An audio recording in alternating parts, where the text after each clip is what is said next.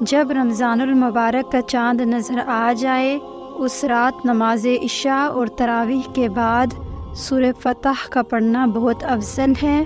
اس لیے ایک بار نماز عشاء اور نماز تراویح پڑھنے کے بعد سور فتح کی تلاوت کیجیے رمضان المبارک کی پہلی شب میں نماز تہجد ادا کرنے کے بعد آسمان کی طرف منہ کر کے گیارہ مرتبہ یہ دعا پڑھنا بھی بہت افضل ہے۔